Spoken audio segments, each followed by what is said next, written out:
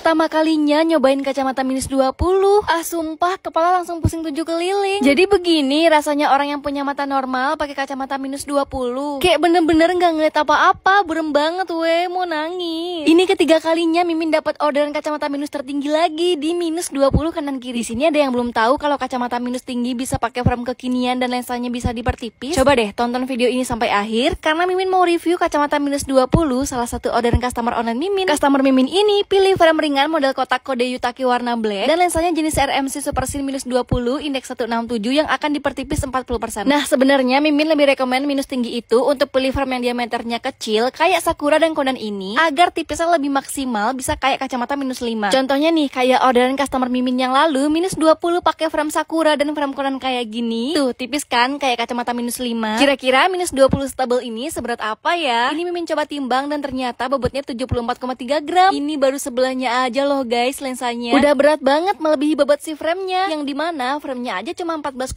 gram Beuh kebayang gak tuh kalian seberat apa kacamatanya kalau lensanya nggak dipertipis Mana nyaman pakai kacamata dengan bobot seberat itu Ini motong lensanya juga harus dipantauin terus karena takut banget lensanya pecah Kalau lensanya udah kepotong kayak gini tinggal dikikis pinggirannya yang kasar dan dipasin ke framenya Kalau udah pas nah ini nih paling penting banget banget Pinggirannya kan masih putih-putih kayak bekas potongan ya Nah ini step terakhir dari kita yaitu proses pembenihan beningan. Jadi nanti pinggirannya akan bening clear, hasilnya akan rapi. Nah, ini udah selesai. Hasilnya tipis ya dari lensa aslinya. Tuh, pinggiran lensanya bening banget kan? Ini Mimin pastiin lensanya nggak akan nempel ke pipi dan kacamatanya ini aman dan nggak merosot-merosot pas dipakai. Dan ini udah aman ya. Jujur ini dipakainya nggak berat kayak kacamata minus 4 atau 5 lah ya. Semoga kakaknya ini suka dan nyaman ya pakai kacamata minus 20-nya. Untuk harga kacamata ini totalnya 939.000 ya guys. So, buat kamu yang mata minus setinggi juga dan mau dibuatkan kacamata Tadi pertipis juga, ordernya di April Awer aja ya.